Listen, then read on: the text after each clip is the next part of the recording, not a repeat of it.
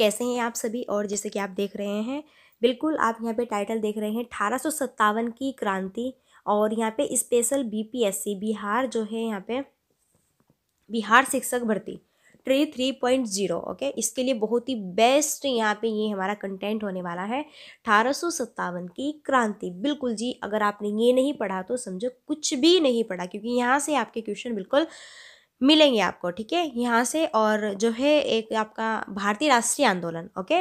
यहाँ से भी बहुत क्वेश्चन आपको मिलते हैं तो मैंने इसके भी ऊपर एक वीडियो यहाँ पे अपलोड की हुई है, बनाई हुई है, ठीक है? तो आप चेक करके वहाँ पे देख सकते हैं उसको और वो वीडियो पूरी एक घंटे की है और उसमें पूरा महामैराथन है वो और उसमें जो है पूरी आपकी भारतीय राष्ट्रीय आंदोलन के सारे एम सी क्यूज कवर हो जाएँगे वन हंड्रेड है। बहुत ही बेस्ट कंटेंट है।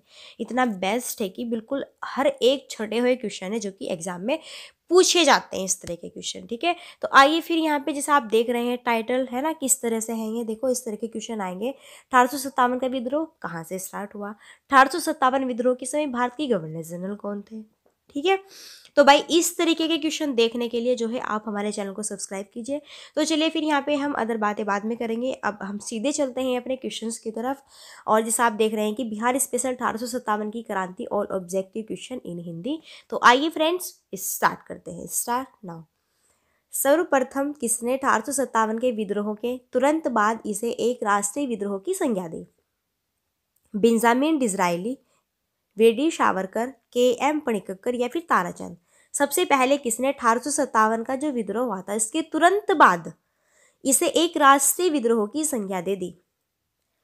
तो ये दी है बिंजामिन डिजराइली ने, ओके? तो ए ऑप्शन हमारा फ्रेंड्स बिल्कुल यहाँ पे करेक्ट आंसर होगा। नेक्स्ट फिर हमारा क्वेश्चन देखो, नीचे यहाँ पे आपके हर पीडीएफ में, है ना, क्वेश्चन मिलेंगे और फिर नीचे आपको यहाँ पे जो है आंसर भी शो होंगे। तो इस तरीके से ये पीडीएफ आपको प्रोवाइड हो जाएगी, ओके? चलिए नेक्स्ट है। मेरठ में विद्रोह कब आरंभ हुआ? दस मई अठारह सौ सत्तावन को, ग्यारह मई अठारह सौ सत्तावन को, चार जून अठारह सौ सत्तावन को, तीन जुलाई अठारह सौ सत्तावन को। तो फ्रेंड्स मेरठ में विद्रोह कब आरंभ हुआ? तो फ्रेंड्स यहाँ पे जो है मेरठ में विद्रोह आरंभ हुआ दस मई अठारह सौ सत्तावन को। कब हुआ? दस मई अठारह सौ सत्तावन को। ए ऑप्शन बिल्कुल करेक्ट आंसर होगा। नेक्स्ट अठारह सौ सत्तावन की क्रांति का चिन्ह। क्या निश्चित किया गया था? स्पेशल अठारह सौ सत्तावन के सारे एम सी यहाँ पे रहेंगे ओके अठारह की क्रांति का चिन्ह क्या निश्चित किया गया था भाई? कमल एवं चपाती कमल एवं गुलाब कमल एवं यहाँ पे जो है होगा आपका गेंदा या फिर चपाती एवं तलवार। तो फ्रेंड्स यहाँ पे हमारा जो करेक्ट आंसर होगा ना वो क्या हो सकता है? तो अठारह सत्ता, की क्रांति का चिन्ह। यहाँ पे क्या निश्चित किया गया है? तो यहाँ पे कमल एवं चपाती, ओके? ये जो है अठारह की क्रांति का चिन्ह निश्चित किया गया है। एक क्वेश्चन यहाँ पे बिल्कुल हमारा, ठीक है? ऑप्शन राइट होगा। आपको यहाँ पे ध्यान से देख लेने सारे क्वेश्चन बहुत इंपॉर्टेंट और बिल्कुल बहुत ही बेस्ट कंटेंट है। बार बार कह रही हूँ, बहुत ज़्यादा बेस्ट कंटेंट है। मंगल पांडे जिसने अकेले अठारह सौ ईस्वी में विद्रोह का सूत्रपात किया, वो संबंधित था। बिल्कुल, आपको यहाँ पे वीडियो स्किप नहीं करनी। अगर वीडियो स्किप करेंगे ना तो आप अपना एग्ज़ाम भी स्किप कर जाएँगे, ठीक है? क्योंकि यहाँ से आपके क्वेश्चन बनेंगे, मिलेंगे आपको एक दो क्वेश्चन यहाँ से एग्ज़ाम में। मंगल पांडे जिसने अकेले अठारह सौ सत्तावन ईस्वी में विद्रोह का सूत्रपात किया, वो किससे संबंधित था? चौंतीसवीं नेटिवी इन्फेंट्री से या फिर बाईसवीं नेटिव इन्फेंट्री से या फिर उन्नीसवीं नेटिव इन्फेंट्री से या फिर अड़तीसवीं नेटिव इन्फेंट्री से? तो ये आपको बताना है कि करेक्ट आंसर इसका क्या होगा। सो मंगल पांडे, जिसने अकेले अठारह सौ सत्तावन ईस्वी में विद्रोह का सूत्रपात किया, वो संबंधित था यहाँ पे किससे भाई? वो संबंधित था चौंतीसवीं नेटिव इन्फ्रेंट्री से, ओके? तो ये ऑप्शन करेक्ट आंसर होगा। और मंगल पांडे से क्वेश्चन ना बने, ऐसा तो हो ही नहीं सकता, ओके? चलिए फिर खटाखट तरीके से, फटाफट तरीके से वीडियो को लाइक और शेयर और सब्सक्राइब आप कर दीजिएगा, जिससे कि यहाँ पे, ओके, हमें भी मोटिवेशन मिलता रहे। चलिए नेक्स्ट ये अठारह सौ सत्तावन के विद्रोह का तत्कालिक कारण क्या था? चर्बी वाले कारतूसों का प्रयोग आरंभ करना, डलहौजी का जब जब्ती का सिद्धांत, ब्रिटिश सैनिकों एवं भारतीय सैनिकों के वेतन में भारी अंतर और फ्रेंड्स यहीं पे जो है भारतीय को ईसाई धर्म में परिवर्तित करने का प्रयास। तो अठारह सत्तावन की विद्रोह का तत्कालिक कारण क्या था? तो बच्चे, यहाँ पे हम बताए आपको, अठारह के विद्रोह का तत्कालिक कारण यहाँ पे था चर्बी वाले कारतूसों का क्या होगा यहाँ पे? चर्बी वाले कारतूसों का प्रयोग करना ओके तो यहाँ पे जो है ए ऑप्शन करेक्ट होगा, यानी चर्बी वाले जो भी यहाँ पे उनके वर्क है, उनका प्रयोग आरंभ कर देना, ये अठारह सौ सत्तावन के विद्रोह का तत्कालिक रीजन रहा ओके नेक्स्ट फिर हमारा क्वेश्चन बनेगा कि अंग्रेज़ी भारतीय सेना में चर्बी वाले कारतूसों से चलने वाली एनफील्ड राइफल कब शामिल की गई? तो यहाँ पे नवंबर अठारह दिसंबर अठारह जनवरी अठारह फरवरी अठारह तो फ्रेंड्स, अंग्रेज़ी भारतीय सेना में चर्बी वाले कारतूसों से चलने वाली एनफील्ड राइफल ये कब जो है शामिल की गई और ये शामिल की गई जनवरी अठारह सौ सत्तावन। ओके? सो यहाँ पे हमारा सी ऑप्शन बिल्कुल करेक्ट आंसर होगा। नेक्स्ट फिर हमारा इस सेशन का क्वेश्चन है कि अठारह सौ सत्तावन के विद्रोह के समय भारतीय गवर्नर जनरल कौन था? लॉर्ड डलहौजी था लॉर्ड विलियम बेंडिंग थे लॉर्ड कैनिंग थे या फिर लॉर्ड लिटन थे? तो बच्चा, आपको बताना है कि अठारह सौ सत्तावन के विद्रोह के समय भारत के गवर्नर जनरल कौन थे? तो यहाँ पर हम बात करें अठारह सौ के विद्रोह के समय भारत के जो गवर्नर जनरल थे बच्चा, वो यहाँ पे थे लॉर्ड कैनिंग, ओके? नेक्स्ट फिर हमारा इस सेशन का क्वेश्चन रहता है कि अठारह के विद्रोह की शक्ति का सबसे महत्वपूर्ण तत्व कौन सा था? नाना साहब का नेतृत्व, झांसी की रानी का नेतृत्व, बहादुर शाह का सहयोग या फिर हिंदू मुस्लिम एकता? तो बच्चा, इस क्वेश्चन का जो करेक्ट आंसर बनेगा वो होगा यहाँ पे हिंदू मुस्लिम एकता। अठारह के विद्रोह की शक्ति का सबसे इम्पोर्टेंट तत्व। यहाँ पर था हिंदू, मुस्लिम, एकता ओके तो डी ऑप्शन सबसे बेस्ट यहाँ पे हमारा आंसर होगा, ठीक है? नेक्स्ट फिर बचा क्वेश्चन है कि अठारह के विद्रोह के पूर्व ब्रिटिश भारतीय सेना में भारतीय तथा यूरोपीय सिपाहियों का क्या औसत था? फोर अनुपात एक, पाँच अनुपात एक छः अनुपात एक, सात अनुपात एक। सो बताइएगा यहाँ पे हमारा जो है नाइन क्वेश्चन का जो करेक्ट आंसर होगा बच्चा, वो होगा सिक्स अनुपात एक। सी ऑप्शन बिल्कुल करेक्ट आंसर होगा, ठीक है? क्वेश्चन बहुत ही इंपॉर्टेंट है छठे क्वेश्चन है स्किप नहीं करना। अगर स्किप कर दिया ना तो समझो गए आप लोग, ठीक है? नेक्स्ट है। अठारह सौ सत्तावन की क्रांति के समय भारत के शिक्षित मध्यम वर्ग, अठारह सौ सत्तावन की क्रांति का विद्रोह किया। या फिर इन्होंने जो है अठारह की क्रांति का समर्थन किया, या फिर ये जो है तटस्थ रहे, या फिर इन्होंने देसी शासकों के विरुद्ध संघर्ष किया। तो बच्चे, अठारह की क्रांति के समय भारत के शिक्षित मध्यम वर्ग ने क्या किया? तो यहाँ पर जो है इन्होंने अठारह की क्रांति में क्या रहे भाई? तटस्थ रहे, ठीक है? वहीं पर एक्टिव रहे। नेक्स्ट फिर हमारा क्वेश्चन है कि अठारह का विद्रोह मुख्यतः किस कारण से असफल रहा? हिंदू, मुस्लिम एकता की कमी, किसी सामान्य योजना और केंद्रीय संगठन की कमी, या फिर इसके प्रभाव का सीमित क्षेत्र, या फिर जमींदारों की असहभागिता? सो करेक्ट आंसर यहाँ पे होगा। किसी सामान्य योजना और केंद्रीय संगठन की कमी, इसलिए यहाँ पे जो है अठारह का विद्रोह मुख्य थे, ठीक है? असफल रहा तो बी ऑप्शन राइट होगा। नेक्स्ट फिर हमारा इस क्वेश्चन में यहाँ पे बनेगा। नेक्स्ट बच्चा, हमारा क्वेश्चन है कि सॉरी वर्ष अठारह के विद्रोह के निम्न नेताओं में से किसने सबसे पहले अपना बलिदान दिया? तो बच्चे, यहाँ पे करेक्ट आंसर क्या होगा? कोर सिंह होगा, तात्या टोपे होगा या फिर लक्ष्मीबाई या फिर मंगल पांडे?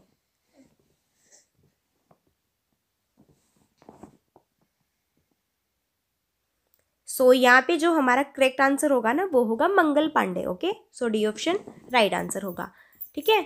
चलिए फिर नेक्स्ट नेक्स्ट हमारे सेशन का क्वेश्चन है कि निम्नलिखित में किसने अठारह के विद्रोह को एक षड्यंत्र संज्ञा दी? जेम्स आउटरम वे W Taylor sir John Marshall sir John Lawrence T R Holmes. So friends यहाँ पे करेक्ट आंसर होगा A option James Outram वे डब्ल्यू टेलर। तो इसमें जो है अठारह के विद्रोह को एक षडयंत्र संज्ञा दी भाई जेम्स आउटरम वे डब्ल्यू टेलर ने, ओके? नेक्स्ट फिर हमारा इस सेशन का क्वेश्चन रहता है कि आधुनिक इतिहासकार जिसने अठारह के विद्रोह को स्वतंत्रता की पहली लड़ाई कहा था, यहाँ पे आपके जो है वन हंड्रेड एम होने वाले हैं तो लास्ट तक बने रहना अगर आपको यहाँ से सफलता चाहिए तो okay? R C Majumdar S N Sen V D Savarkar या फिर अशोक मेहता तो फ्रेंड्स यहाँ पे हमारा करेक्ट आंसर होगा V D Savarkar so C option बिल्कुल करेक्ट होगा। आधुनिक इतिहासकार, जिसने अठारह के विद्रोह को स्वतंत्रता की पहली लड़ाई कहा था तो ये कहा था सावरकर ने ओके और फिर बच्चे, यहीं पे हमारा नेक्स्ट क्वेश्चन बनेगा। और नेक्स्ट क्वेश्चन है कि अठारह में बरेली विद्रोह का नेता कौन था? खान बहादुर थे, कुंवर सिंह थे, मौलवी अहमद शाह थे या फिर बिरजिश कादिर थे। तो हम बात करें अठारह में बरेली विद्रोह का नेता कौन था? तो यहाँ पे थे ये Khan Bahadur. A option correct answer होगा, ठीक है? नेक्स्ट है, बेगम हज़रत महल ने अठारह के विद्रोह का नेतृत्व निम्नलिखित में से किस शहर में किया था? लखनऊ में, कानपुर में, बनारस या फिर इलाहाबाद? तो बेगम हज़रत महल ने भाई अठारह के विद्रोह का नेतृत्व किस शहर में किया था? ये बताना है बस आपको। ये किया था लखनऊ में। कहाँ पर? लखनऊ में। ओके? चलिए फिर नेक्स्ट देखते हैं क्वेश्चन नेक्स्ट है कि कानपुर से भारत में अठारह की क्रांति का नेता कौन था? तो भाई कानपुर से भारत में अठारह की क्रांति का नेता कौन था? नाना साहेब, तात्या टोपे, कुंवर सिंह या फिर लक्ष्मीबाई? सो so, यहाँ पे राइट आंसर होगा Nana Saheb. Okay A option correct answer यहाँ पे हमारा बन जाएगा। और बच्चा फिर इसी सेशन का हमारा नेक्स्ट क्वेश्चन आता है। नेक्स्ट क्वेश्चन है कि अठारह सौ सत्तावन के विद्रोह में कानपुर में सैनिकों का नेतृत्व किसने किया था? कुंवर सिंह ने तात्या टोपे ने लक्ष्मीबाई ने फिर नाना साहब ने। अठारह सौ सत्तावन के विद्रोह में कानपुर में सैनिकों का नेतृत्व किसने किया? अब कानपुर में सैनिकों का नेतृत्व किसने किया बच्चा? तो ये किया था तात्या टोपे ने ओके नेक्स्ट है फिर क्वेश्चन अठारह में भारत में हुए विद्रोह के एक नेता तात्या टोपी का मूल नाम क्या था? गोपाल कृष्ण गोखले नाना शाह बालाजी राव या फिर रामचंद्र पांडुरंग? सो so, यहाँ पे हमारा इस क्वेश्चन का करेक्ट आंसर बनेगा रामचंद्र पांडुरंग और ये अठारह में भारत में हुए विद्रोह के एक नेता तात्या टोपे का मूल नाम था। ओके तो किसका नाम था भाई? रामचंद्र पांडुरंग का। ओके चलिए।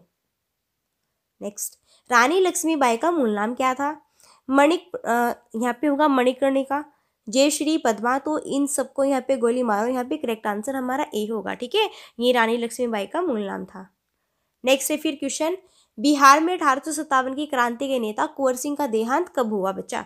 दस अप्रैल अठारह सौ अट्ठावन में, सत्रह जून अठारह सौ अट्ठावन में, नौ मई अठारह सौ अट्ठावन में, बीस जून अठारह सौ अट्ठावन में। सो करेक्ट आंसर यहाँ पे होगा। नौ मई अठारह में। बिहार में अठारह की क्रांति के नेता कुंवर सिंह का देहांत हुआ था भाई। नौ मई अठारह में। C option is the right answer होगा, ठीक है? और फिर नेक्स्ट क्वेश्चन है कि निम्नलिखित में से किसने अठारह में अंग्रेज़ों से संघर्ष किया? चंद्रशेखर आज़ाद राम प्रसाद बिस्मिल या फिर यहाँ पे सआदत खान या फिर माखन लाल चतुर्वेदी? सो so, यहाँ पे हमारा इस क्वेश्चन का करेक्ट आंसर होगा। सआदत खान ओके इनमें जो है इन्होंने अठारह सौ सत्तावन में अंग्रेज़ों से संघर्ष किया था कि उन्होंने भाई सआदत खान ने किया था ठीक है? अंग्रेज़ों से संघर्ष किया था इन्होंने अठारह सौ सत्तावन में। अवध के अंतिम नवाब कौन थे भाई? सिराजुद्दौला थे या फिर आशिफुद्दौला थे या फिर वाजिद अली शाह थे या फिर गुंगे नवाब थे? तो बच्चा बताना है कि अवध के अंतिम नवाब कौन थे?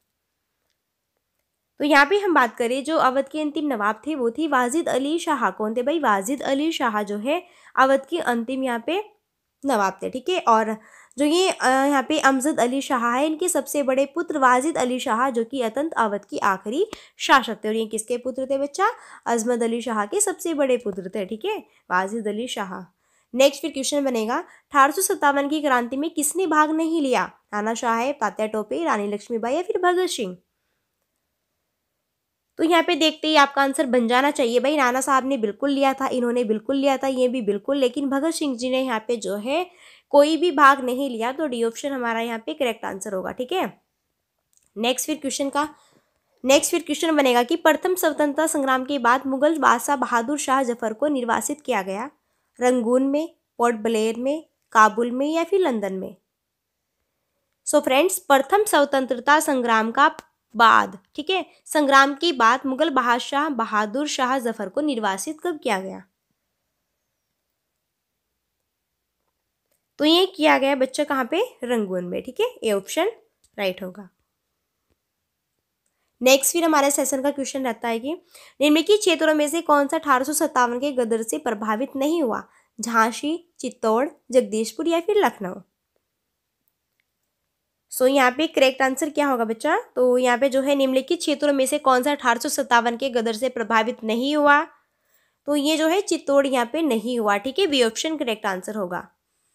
नेक्स्ट है फिर हमारा क्वेश्चन की अठारह के बाद निम्न में से किस एक ने इलाहाबाद में एक दरबार में ग्रेट ब्रिटेन संप्रभु द्वारा भारत सरकार के ग्रहण की घोषणा की थी? लॉर्ड कैनिंग ने या फिर लॉरेंस ने या फिर मैयो ने या फिर नॉर्थ ब्रुक ने ठीक है? तो बच्चे, यहाँ पे हमारा जो है करेक्ट आंसर क्या बनेगा, ये हमें चूज़ करना है। तो हम देखिए, अठारह के बाद में इनमें से किस एक ने इलाहाबाद में एक दरबार में ग्रेट ब्रिटेन संप्रभु द्वारा भारत सरकार के ग्रहण की घोषणा की थी। तो यहाँ पे होगा लॉर्ड कैनिंग ओके ये ऑप्शन हमारा बिल्कुल करेक्ट आंसर होगा। नेक्स्ट है फिर जातीय आधार पर अठारह के विद्रोह के दमन में अंग्रेज़ों का सहयोग करने वाले भाई यहाँ पे कौन थे? तो जातीय आधार पर हम यहाँ पे बात करेंगे अठारह सौ सत्तावन के विद्रोह के दमन में अंग्रेज़ों का सहयोग करने वाले कौन थे? क्या सिख थे या फिर गोरखा थे या फिर पठान थे? तो ऑप्शन यहाँ पे नीचे दिए हुए हैं, आपको चूज़ करना है कि कौन कौन थे, कौन नहीं थे, है ना? एक, दो, तीन दोनों थे या फिर यहाँ पे ये दो और तीन, ये दोनों थे या फिर एक, दो, ये दोनों थे या फिर इनमें से कोई नहीं, या फिर यहाँ पे ये तीनों ही थे। तो चूज़ कर लेना है भाई, क्या होगा? बिल्कुल हमारा करेक्ट आंसर तो हम बात करें बच्चे, यहाँ पे हमारे इस क्वेश्चन का जो करेक्ट आंसर होगा ना, वो ए होगा। यानी कि सिख भी थे गोरखा भी थे और पठान भी। जाति आधार पर अठारह के विद्रोह के दमन में अंग्रेज़ों का इन्होंने सहयोग किया था। सिख ने भी गोरखा ने भी और भाई पठान ने भी, ठीक है? चलिए। नेक्स्ट फिर हमारे सेशन का क्वेश्चन है कि अठारह के विद्रोह के दौरान अनेक भारतीय नरेशों ने ब्रिटिश सरकार की सहायता की। निम्नलिखित में से किसने मदद नहीं की? कश्मीर के शासक ने मेवाड़ की राजा ने, सतलज के इस पार के राज्यों के सिखों ने या फिर ग्वालियर की सिंधिया ने? तो यहाँ पे बात की जाए, अठारह सौ सत्तावन के विद्रोह के दौरान अनेक भारतीय जो कि ब्रिटिश सरकार की सहायता की है, लेकिन किसने नहीं की? तो यहाँ पे जो हम यहाँ पे आपको बताएँगे ना, मेवाड़ के जो राजा हैं, इन्होंने यहाँ पे जो है, ठीक है, इनकी हेल्प नहीं की भाई, ठीक है? और अठारह सौ सत्तावन सिपाही विद्रोह की सभी ऑब्जेक्टिव क्वेश्चन यहाँ पे चल रहे हैं आपके तो आपको यहाँ पे जो है बने रहना है, हमारे साथ में बहुत ही मोस्ट मोस्ट इम्पोर्टेंट है। किसे अठारह के विद्रोह की सबसे कमज़ोर कड़ी के रूप में देखा जाता है? बहादुर शाह, नाना साहेब तात्या टोपे, फिर लक्ष्मीबाई। तो भाई, अठारह के विद्रोह की सबसे कमज़ोर कड़ी के रूप में किसे देखा जाता है? तो यहाँ पर देखा जाता है बहादुर शाह को, ओके? नेक्स्ट फिर हमारे इस सेशन का क्वेश्चन है कि अठारह के विद्रोह की असफलता के बाद में मुगल बादशाह बहादुर शाह सेकंड को कहाँ व किसने गिरफ़्तार किया? रंगून में कर्नल नील ने, ग्वालियर में लेफ्टिनेंट हडसन ने, बरेली में जेम्स आउटरम ने या फिर हुमायूं की कब्र के पास लेफ्टिनेंट हडसन ने। तो बच्चा कहाँ पे किया और भाई, ठीक है? तो करेक्ट आंसर होगा यहाँ पे हमारा इस क्वेश्चन का डी आंसर ठीक है? हुमायूं की कब्र के पास में और लेफ्टिनेंट हडसन ने। तो यहाँ पे जो है अठारह सौ के विद्रोह की असफलता के बाद में मुगल बादशाह फादुर शाह सेकंड को, है ना, इन्होंने कहाँ वे किससे किसने जो है गिरफ़्तार किया तो वह हुमायूं की कब्र के पास में और लेफ्टिनेंट हडसन ने इनको गिरफ़्तार किया था, ठीक है? नेक्स्ट फिर क्वेश्चन बनेगा कि वह कौन सा ब्रिटिश सेनापति था जिसकी अठारह सौ सत्तावन के विद्रोह को दबाने में महत्वपूर्ण भूमिका रही, या फिर आउटरम, या फिर चार्ल्स नेपियर, या फिर कैंपबेल, या फिर हैवलॉक? सो so, वह कौन सा ब्रिटिश सेनापति था जिसकी अठारह सौ सत्तावन के विद्रोह को दबाने में महत्वपूर्ण भूमिका थी? तो बच्चा यहाँ पे होगा कैंप वेल ठीक है? So C option is the right answer हमारे यहाँ पे हो जाना है। तो आपको बने रहना है खटाखट तरीके से वीडियो को लाइक कर दो शेयर कर दो सब्सक्राइब कर दो बिल्कुल भी ठीक है? अगर नहीं करेंगे ना तो छोड़ूँगी नहीं आप लोगों को ठीक है? नेक्स्ट फिर हमारा यहाँ पे क्वेश्चन बनेगा कि निम्नलिखित में से वह कौन सा स्थान था जो अठारह सौ सतावन के विद्रोह से अछूता रहा ठीक है? अवध मद्रास पूर्वी पंजाब या फिर मध्य प्रदेश।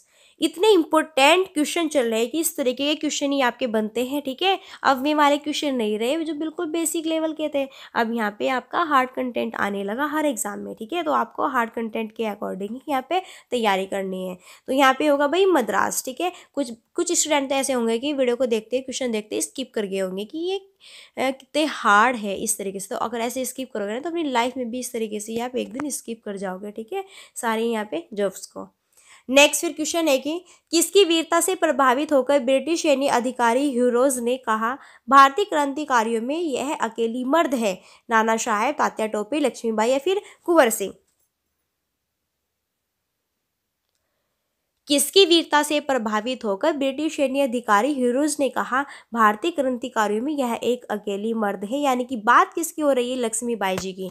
ओके? तो बिल्कुल भाई सी ऑप्शन यहाँ पे हमारा करेक्ट आंसर बनेगा और इसी यहाँ पे नाम पे जो है आपको यहाँ पे थम्सअप कर देना है और लाइक शेयर सब्सक्राइब आप करते रहिएगा अपने अकॉर्डिंग ठीक है?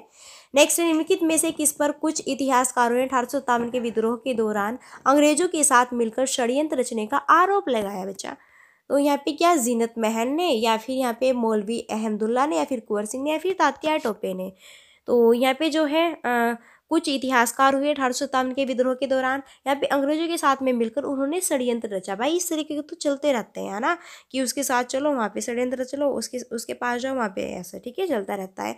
तो ये यहाँ पे जो है जीनत महल ने किया था। किसने भाई? जीनत महल ने। ये एक ओल्ड जो है यहाँ पे परंपरा चलती आ रही है। इस तरह से एक दूसरे के सामने क्या करना भाई? क्या करना? षड्यंत्र रचने वाला, ठीक है? ऋषिया वगैरह, ठीक है? चलिए नेक्स्ट है फिर।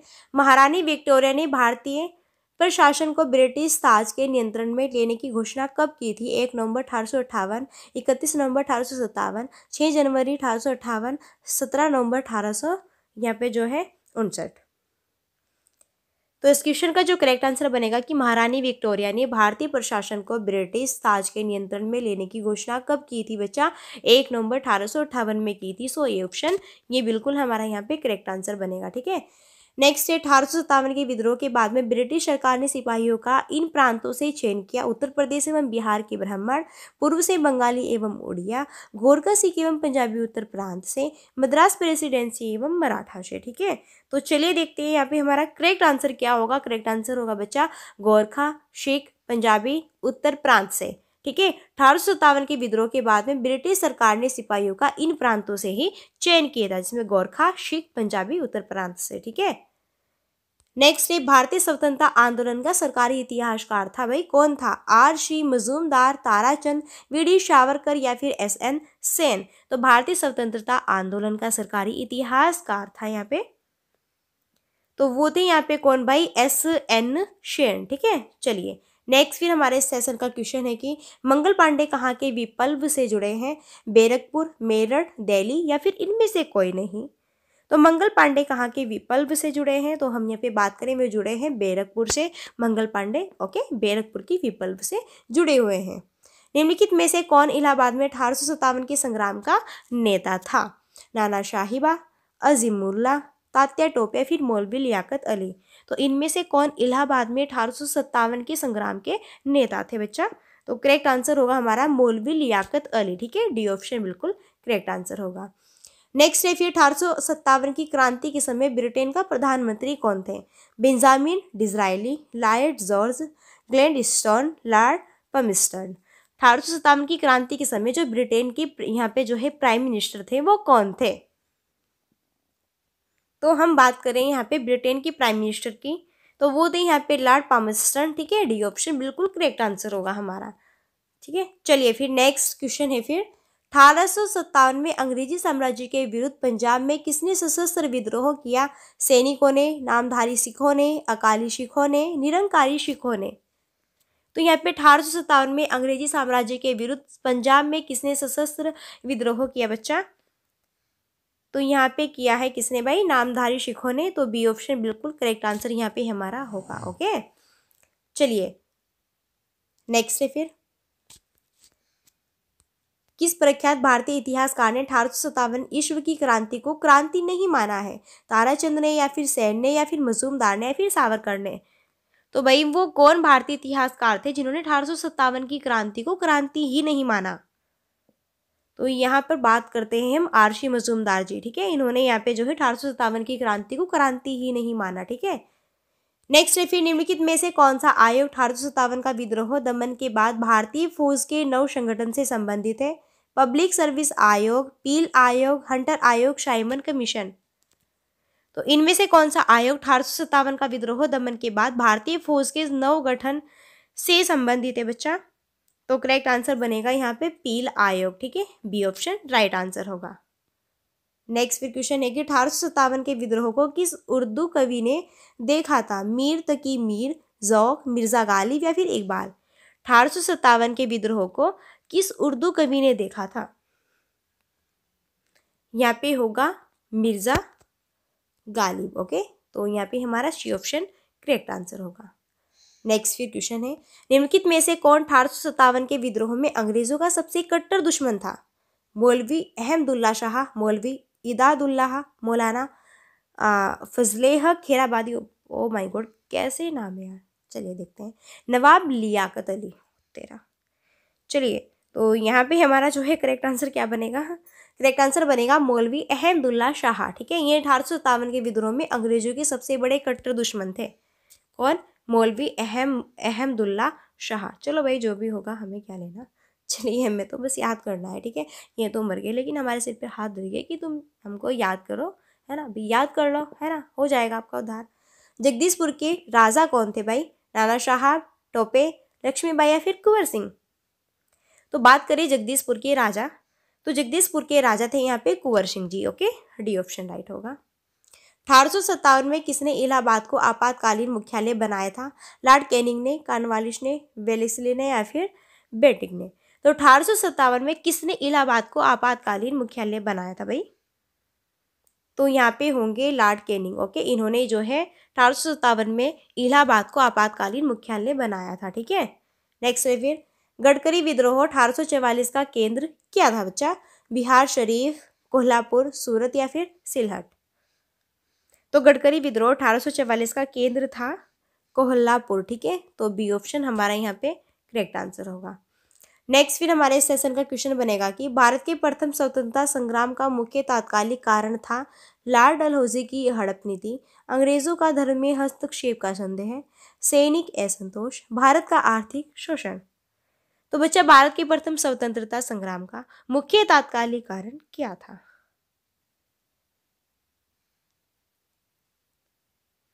तो बता रहा है, ये क्वेश्चन जो है मेरी तरफ़ से, ठीक है? आपको यहाँ पे जो है होमवर्क रहा और इस क्वेश्चन का करेक्ट आंसर आप बताएँगे नीचे कमेंट बॉक्स में, ठीक है? चलिए। नेक्स्ट फिर क्वेश्चन है कि किस इतिहासकार ने लिखा तथा कथित प्रथम राष्ट्रीय स्वतंत्रता प्रथम, नहीं राष्ट्रीय और नहीं स्वतंत्रता संग्राम था? संग्राम ने तो ये किसने लिखा भाई? मजूमदार, सेन, सावरकर या फिर इनमें से कोई नहीं? तो ये लिखा है यहाँ पे आरसी मजूमदार जी ने, ठीक है? इस तरह से आप यहाँ पे एक बार और क्वेश्चन देख लीजिए। चलिए, ठीक है? और ये जो है यहाँ पे वर्ष अठारह सौ सत्तावन के विद्रोह के संदर्भ में इनमें से जो है किसी उसके मित्र ने धोखा दिया तथा तो जिसे अंग्रेज़ों द्वारा बंदी बनाकर मार दिया गया। तो यहाँ पे नाना साहेब कुंवर सिंह खान, बहादुर खां या फिर तात्या टोपे। ये कैसे आप नीचे हो गए क्वेश्चन आपके। चलो देखते हैं यहाँ पे थोड़े, ठीक है?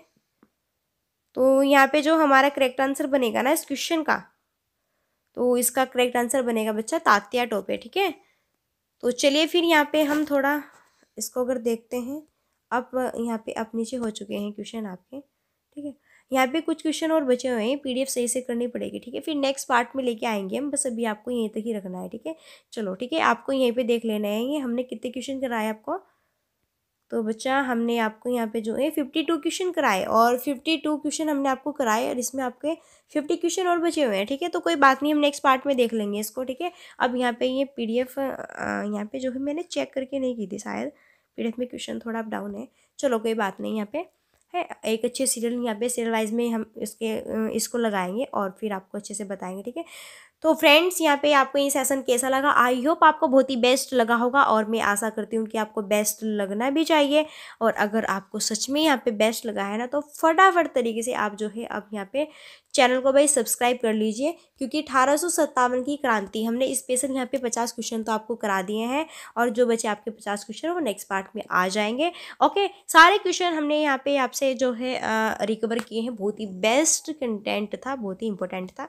तो चलिए फिर मिलते हैं नेक्स्ट वीडियो में, है ना? तब तक के लिए आप यहाँ पे थोड़ा हँसते रहिए, मुस्कुराते रहिए, और जीवन में आगे बढ़ते रहिए, ठीक है?